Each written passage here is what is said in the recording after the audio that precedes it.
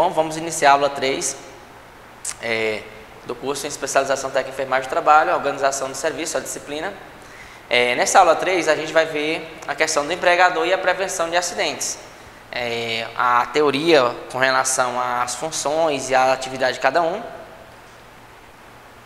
É, na NR12, Segurança do Trabalho, Máquinas e Equipamentos, é uma NR que ela requer muito cuidado desde a parte de aquisição da máquina, que é onde a gente vai estar vendo uma máquina tipo um trator. Os tratores hoje em dia todos estão vindo gabinado. Por quê? O controle de temperatura, é, animais também, insetos. Tipo, o cara tá trabalhando na máquina, chegava no campo, numa árvore que tinha uma abelha, um enxame de abelha. Hoje, com os tratores gabinados, já não acontece mais esse tipo de acidente. Se ele for, no caso, tiver uma alergia. Ou seja, dentro dessa NR12, a gente já traz esses dados é, de acidentes que aconteceram antigamente para melhorar na hora da aquisição de uma máquina hoje em dia. Princípios gerais. Essa norma, inclusive né, é, seus anexos, define questões de referências técnicas, é, princípios fundamentais, garantir a saúde e a integridade física do trabalhador, questão de amortecimento do seu banco, é, do checklist da máquina em si, questão de seta, troca de óleo, filtro, tudo isso para melhorar a qualidade de, de trabalho do trabalhador não acontecer nenhum tipo de acidente e não ter perdas materiais para a empresa e nem para o empregador. É, aqui nessas imagens aqui a gente relata a questão do, da, da, importância é, da escolha de uma máquina, da escolha de um EPI, de, de, de auxiliar e passar treinamentos com relação ao uso desse EPI, um protetor facial no uso de uma lixadeira. Não apenas confiar no óculos, usar o protetor facial, que aí protege a face por um todo, mas nunca deixar de utilizar o óculos para por caso de cair uma fagulha, outra coisa, dessa lixadeira. Outra coisa importantíssima aqui nessa imagem 2, sinalização. Toda essa tela tem uma significância com relação a você guiar um caminho desse.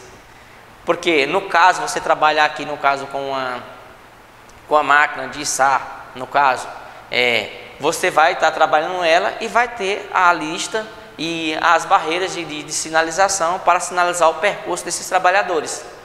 Outra questão também, placa de sinalização. Só usa esse equipamento com utilização de EPI X, Y e Z. Ou seja, determinar a utilização e outra coisa. Só trabalhe com um determinado equipamento com seu treinamento. Senão, do contrário, não exerça atividade.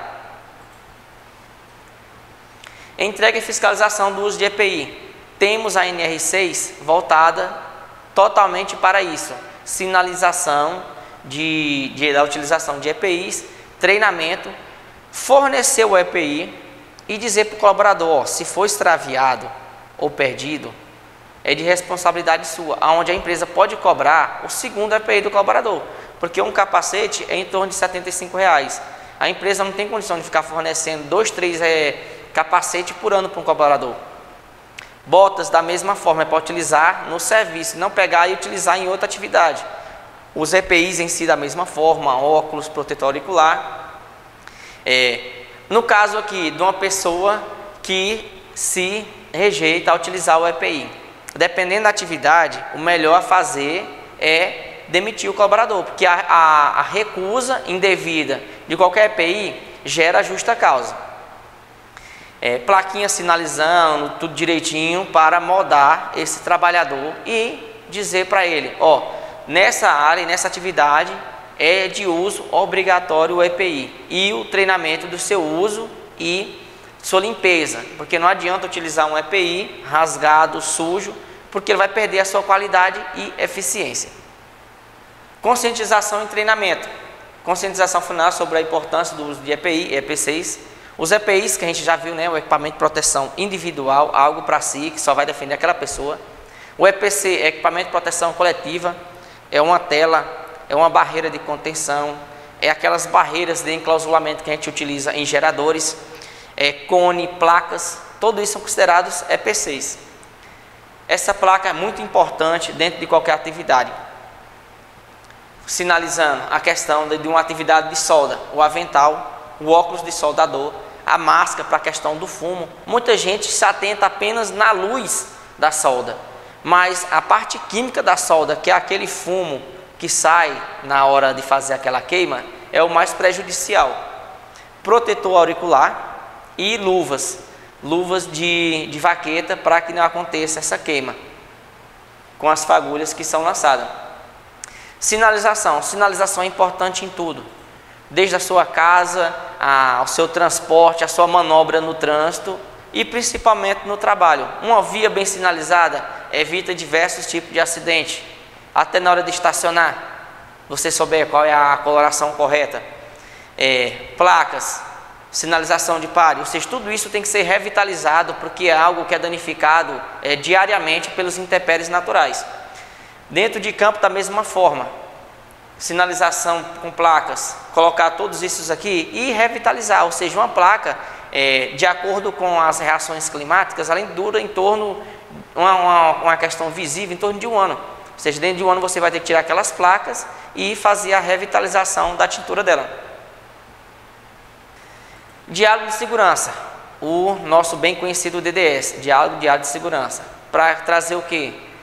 Seja ele diariamente, seja ele, seja ele semanalmente, a importância da segurança, ou seja, trazer temas que abordem algumas situações que aconteceram na atividade anterior. Ah, você flagrou 10 pessoas sem EPI. No próximo DDS você traga a importância do, DD, do, do DDS, a importância do EPI usando como tema e mostrando para ele que dentro da legislação, a não utilização do EPI gera três advertências, uma suspensão e a última dispensa por justa causa, ou seja, ele vai sair sem direito até o seguro-desemprego. Ou seja, são meios das normas que foram criados e desenvolveram para manter atitudes preventivas dentro do nosso ambiente de trabalho. Ginástica laboral, questão de se exercitar antes de qualquer atividade, ou seja, a fim de oxigenar os músculos, é, para evitar uma cãibra, é, para evitar é, um espasmo, alguma coisa, abertura de um músculo. É, atividade repetitiva, sempre dá um intervalo. A pessoa começou a ficar meio sonolenta, começou naquela atividade repetitiva, levanta, vai beber água, esparecer, tomar um café.